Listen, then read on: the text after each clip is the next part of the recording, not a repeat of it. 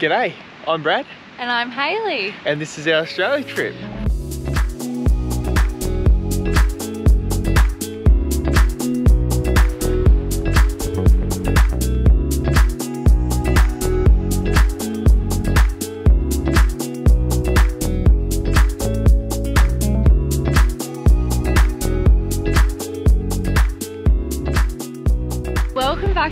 Episode. We finally made it to Yeppoon. The weather is amazing. The spirits are high. the sun is out, finally. And we're about to go and walk up that headland over there. She's a monster, Bluff We're- Point. We're actually gonna go for a leisurely stroll up to the top and then Brad reckons he's gonna run down for a bit of exercise. So we're super excited as well because we just booked a boat trip tomorrow. We're going out to Great Keppel Island. So we have lots of fun things in store this episode. I think that's Great Keppel Island out there. Yeah, we'll see. We'll figure that out tomorrow.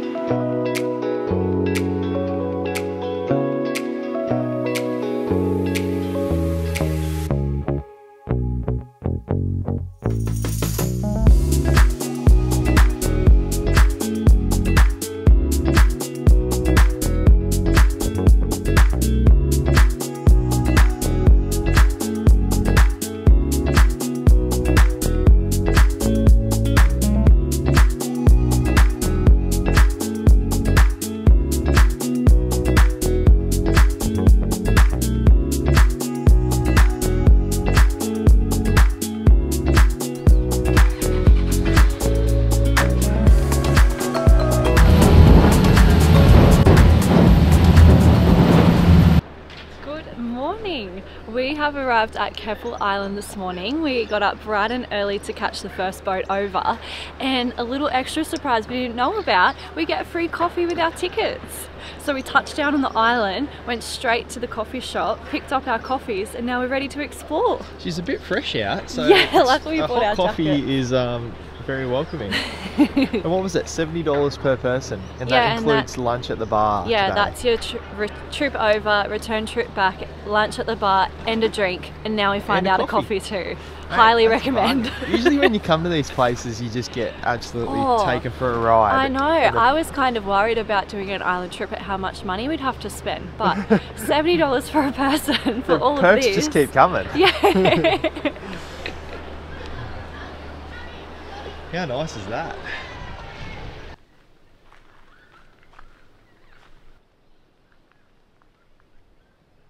This is what we came for. A nice change compared to the muddy bays we've been seeing recently. Are they Maltesers or licorice bullets? they look like little black jelly beans. Oh, little black jelly beans, I love them ones. Alright, let's grab a handful. it didn't taste like jelly. Now we've made it to the highest peak on Great Keppel Island. This is Mount Wyndham. And Great Keppel Island was home to around 60 and 80 Aboriginal people from the Woppaburra tribes. That was up until about 1900s when they were all either forcibly removed or killed off the island. And what they used the island for, the European settlers used it for running sheep. And this um, lookout here, or this mountain, was named after a guy that they put on the island to look after the stock. And he actually left the island when he found out that Aboriginal people were being mistreated and, and removed from the island forcib- forcibly. Um, so it's quite good that they've named this after a European that wasn't a prick, to say the least. And this Great Keppel Island is um, the biggest island of the 18 islands in this chain. And uh, as you can see, there's absolutely spectacular views from up here. The walk probably took about an hour from where we got dropped off the main resort area. And uh, it was about 4 Ks to get up here.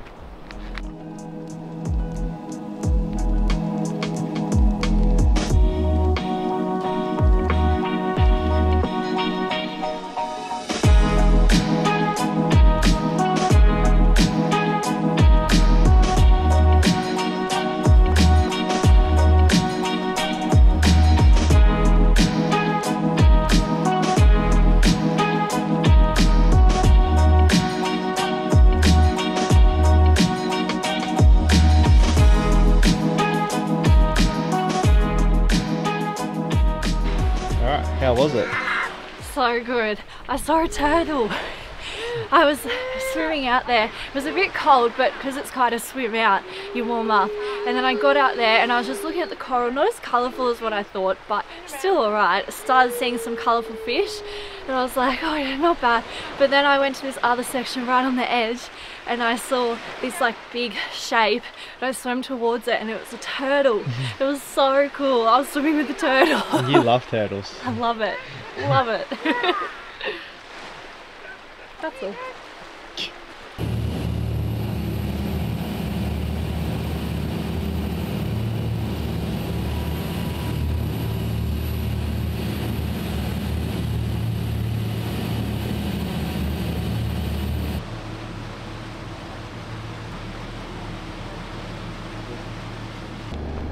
Well, that was a good day at the island, So much fun. except for we went to the island and we forgot to do one thing.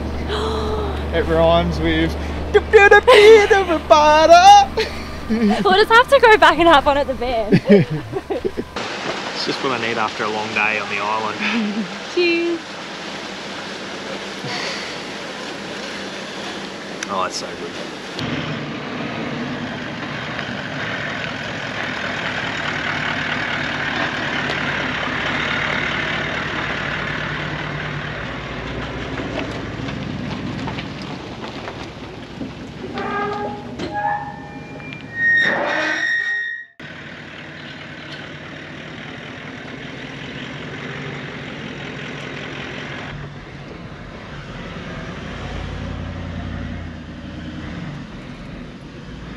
Tell you what, it's a bloody trial by fire.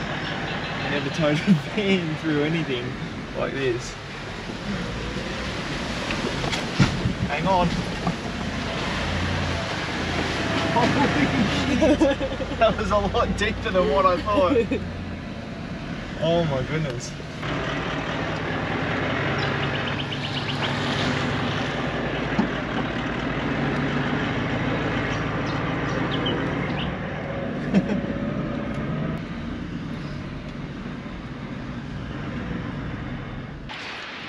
Bloody hell, we made it to Notch Point.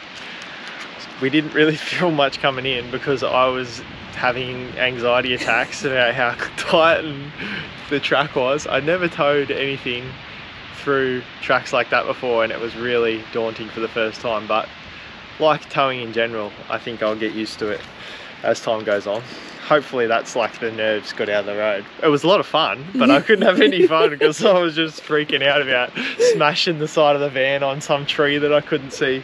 I will tell you what thank God for the clear views because they made they made it so much easier. But um Notch Point how good is this? There's like cows walking around there's fires on the beach.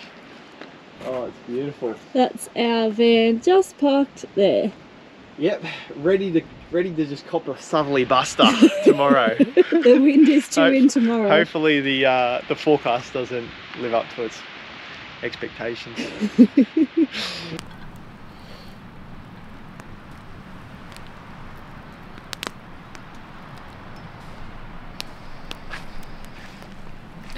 Hey, like a notch point so far, darling. Oh, this is a ripper spot.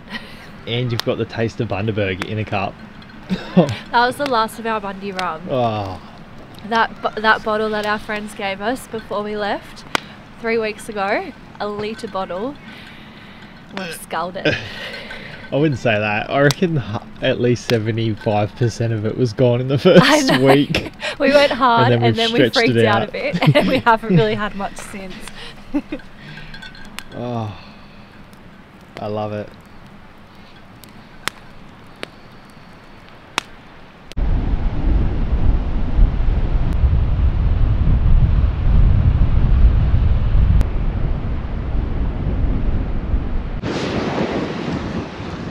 We parked on the southern side and there's a massive southerly blowing.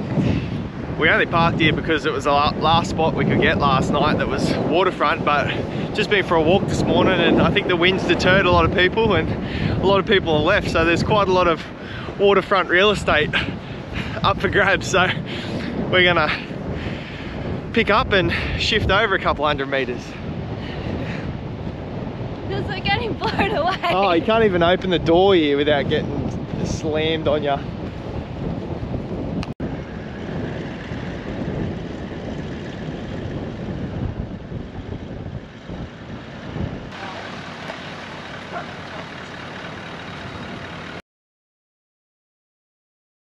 Right, so we're leaving Notch Point. Um, we've spent a few days here and we're gonna, actually going to leave a bit earlier than what we were supposed to. Uh, just because of the wind, we haven't been able to really do much. I mean, it's a beautiful place, but we're sort of just hunkered down in behind the van the whole time. So, yeah, they call it the best free camp on the East Coast, so you've got to come check it out anyway.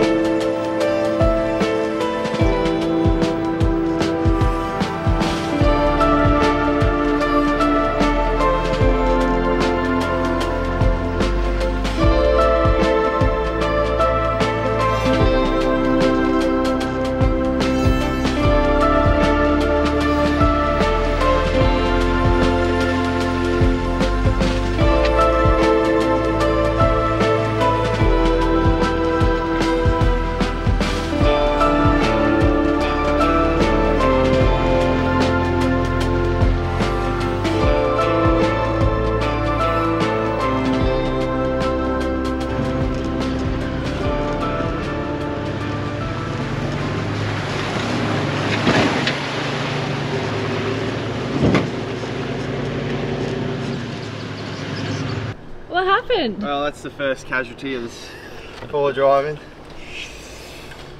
Well, it just got really deep on that left hand side and then the step just sort of said, see you later. I think it still works. Just needs to be, there we go. Is it all better? yeah, oh, it's needs replacing, but she's a bit bent, but it's alright. It'll do. Yeah. That was a bit of a hole there.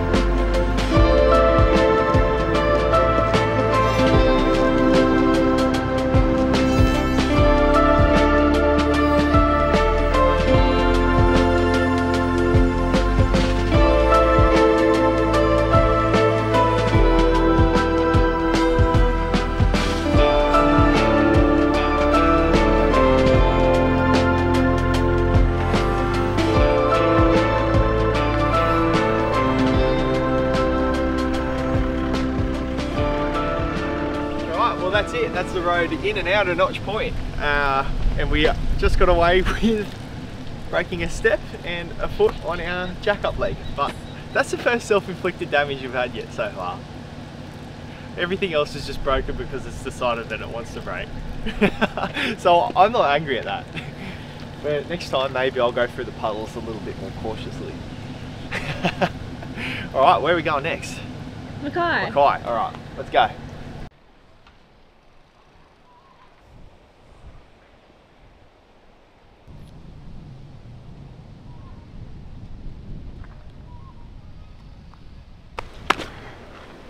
Alright, well we made it to Bowen.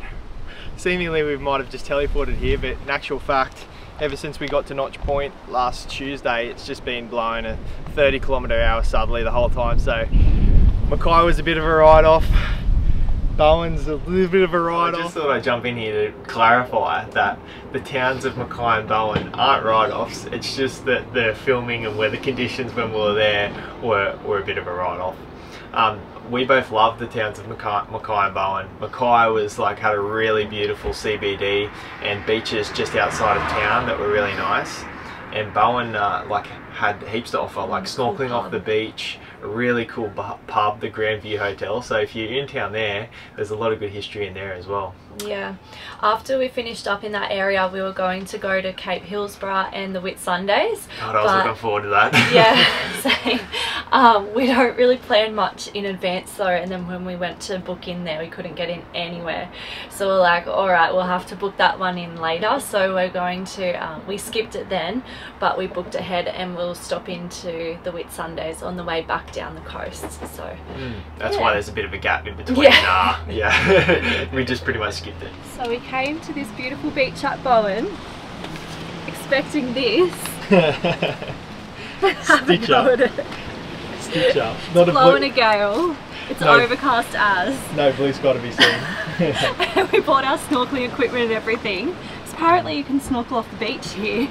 We're operating on hopes and dreams. but we're still going to make the most of it. We'll go for a walk instead.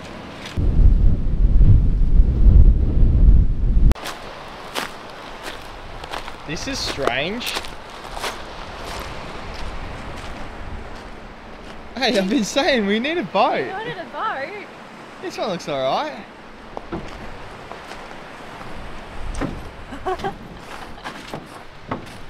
Show us how you drive it. Yeah. What are you, two stroke or four stroke? Two stroke. Alright. Can't even hear it. Must be one of those new electric ones. That's a four stroke.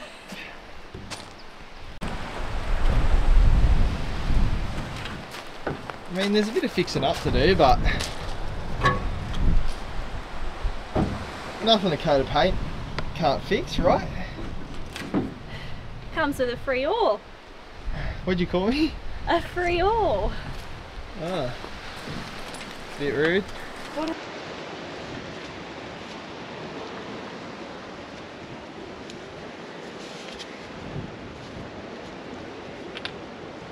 Foot in here.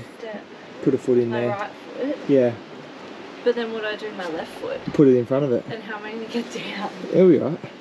Okay. We'll worry about that in a minute. Don't pull me too far. No, I'm I'll not. Kick that bit. I'm not. I'm just gonna hold you. Come on. Don't let go of me. That doesn't look steady. Yeah. Hold me like this. There you go. Yeah. There we go. Look at that.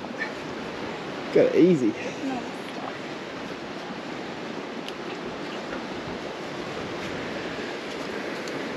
You ripper.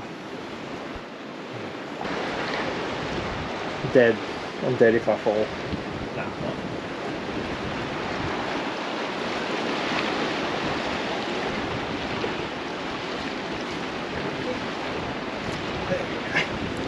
I don't know if you should attempt that. yeah, I'll, I'll stay on this I'll take the GoPro up. This can be my seat here. Still good enough, I reckon. Victory.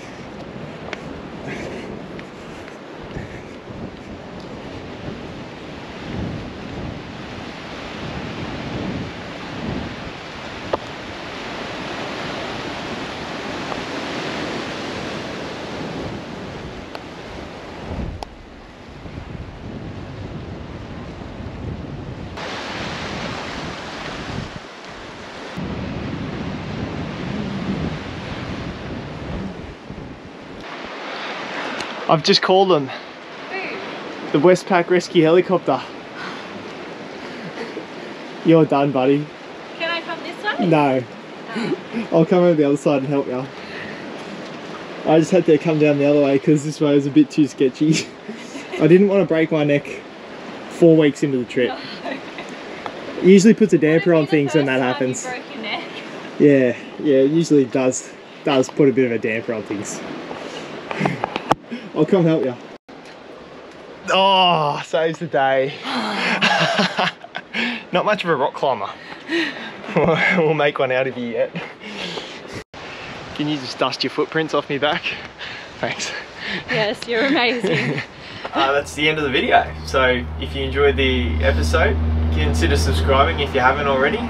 Give us a thumbs up and even throw us a comment. I love replying to all you people that are traveling or getting inspiration to travel or just watching because it's something different Yeah. that you don't know that you haven't seen before. Thanks, All right. guys. We'll see you a bit further north. Cheers.